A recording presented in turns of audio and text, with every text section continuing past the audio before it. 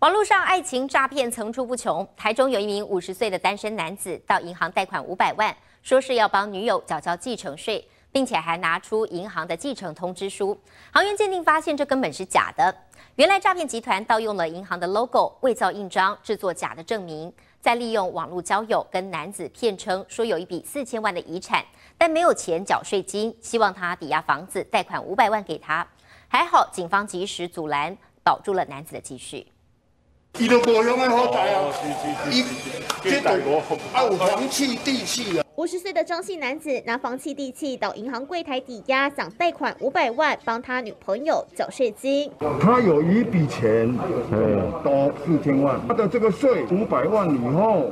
就可以把这个四千万给你，不是给我，不是给你的，是他。男子心急汇钱，直接拿出这张继承税通知书，说女朋友有一笔四千万遗产等着继承，不过筹不了现金，找他帮忙，一度还要他向地下钱庄借钱，但远景跟行员现场鉴定，这张通知书是假的，男子陷入爱情诈骗陷阱。这张头主要讲咧，内底行员你来讲过，阮内底吼。无这个无这个物件啦，这是诈骗的。